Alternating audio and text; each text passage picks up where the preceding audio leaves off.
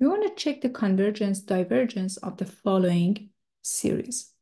The summation of square root of n divided by 1 plus n to power 3 over 2. There are different techniques that you can use. What I'm going to use, I'm going to show you how to use integral test.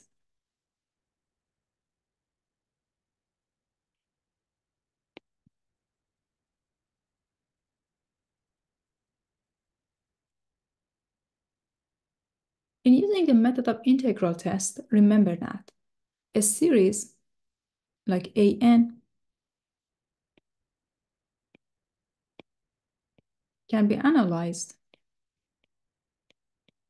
using f of n equals to an if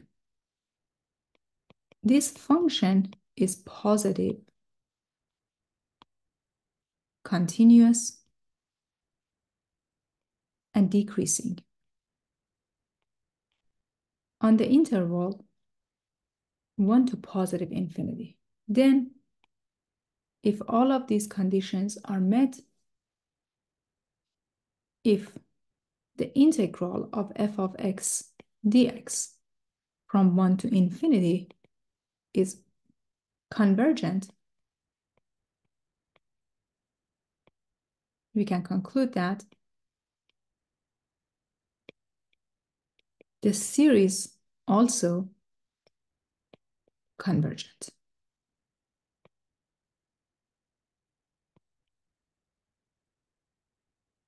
So let us begin. My function here, f of x, is equal to square root of x divided by 1 plus x to power 3 halves. This function is indeed continuous and positive. You can use Desmos and graph this function. Let me graph it for you.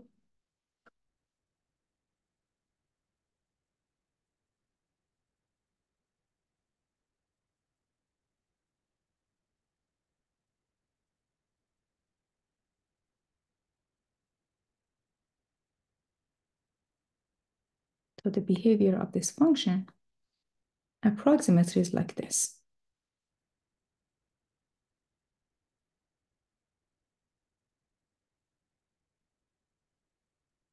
Just an approximation of the behavior. It's not very precise. You can use Desmos or any other graphing website to graph this for you.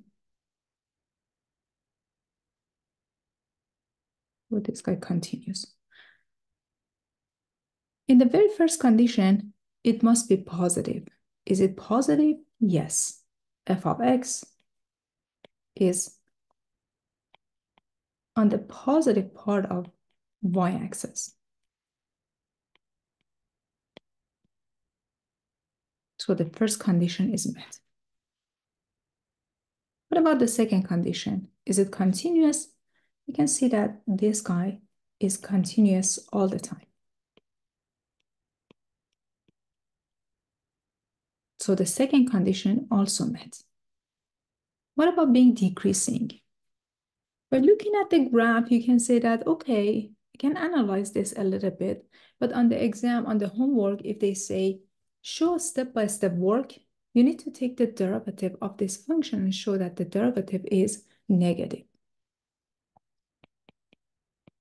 To check if f of x is decreasing, we need to show that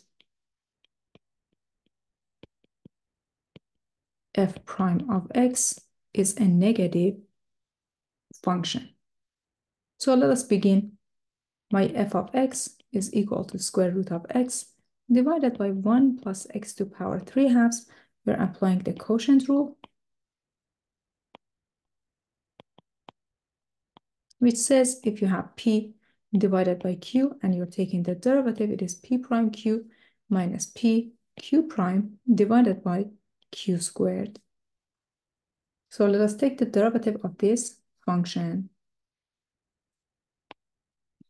f prime of x is the derivative of square root of x times 1 plus x to power 3 halves minus the derivative 1 plus x to power 3 halves times square root of x divided by this quantity to the second power.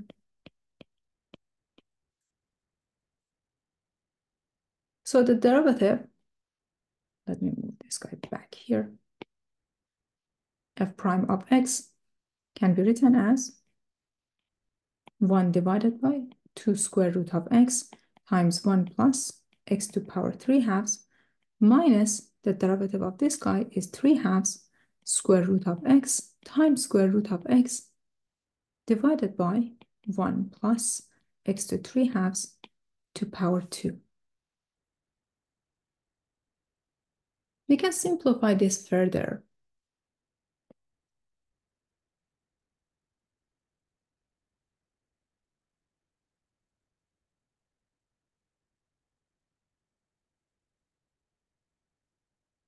So uh, if you distribute 1 over 2 square root of x down here, or basically if you write it outside, either is fine. You can distribute or you can basically simplify this further.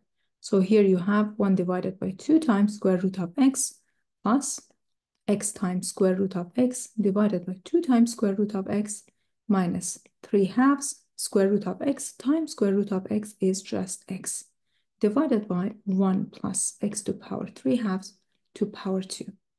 Cancel out square root of x and square root of x. What you're left with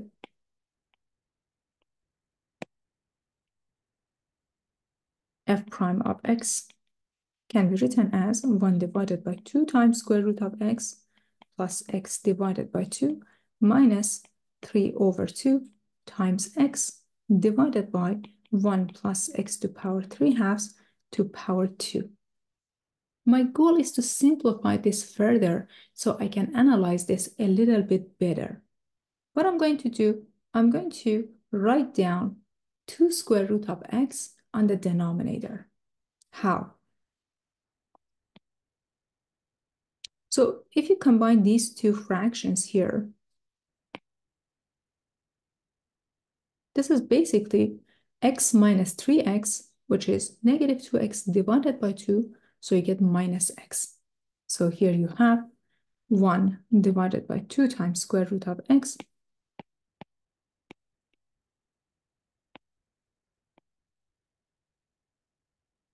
minus 2x divided by 2 over 1 plus x to power 3 halves to power 2 or basically you have 1 divided by 2 times square root of x minus x divided by 1 plus x to power 3 halves to power 2. So write f prime of x this way. Remember, your goal is to show that this guy is negative and find that interval. f prime of x can be written as 1 divided by 2 times square root of x, and here you get 1 minus you have 2 times x times square root of x divided by 1 plus x to power 3 halves to power 2. But let us take a look at this. This quantity is always positive. This quantity must be positive as well. It only takes on positive values. The only thing you're worried about is 1 minus 2 times x times square root of x. So for this one here, 1 minus 2x square root of x is going to be negative if 2 times x times square root of x is more than 1 or basically x times square root of x is more than a half or x to power 3 halves is more than a half or x is more than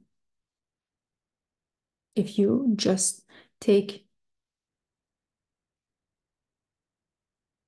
or if you just raise it to two thirds, you get the third root of 1 over 4. So as long as x is more than the third root of 1 fourth, then you are fine. On this interval, the function is indeed decreasing. On the interval, the third root of one fourth and infinity, the function is indeed decreasing. So we just showed all of these conditions to be met. The function is positive, continuous, and decreasing. So since the conditions are met, we can apply the convergence, divergence, integral test here. So let us begin the actual work. Since the function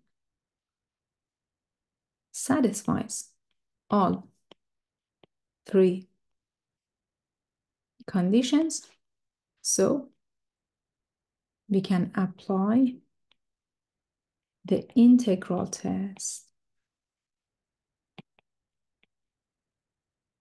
We need to take the integral of the function that we have, square root of x, divided by 1 plus x to power 3 halves dx between 1 to infinity. You can use u substitution here. Let's set u to be 1 plus x to power 3 halves du is equal to 3 halves x to power a half dx. So as you can see, you have square root of x dx on the numerator.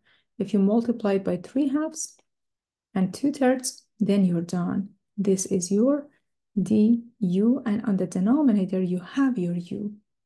So this integral can be written as 2 thirds integral of du divided by u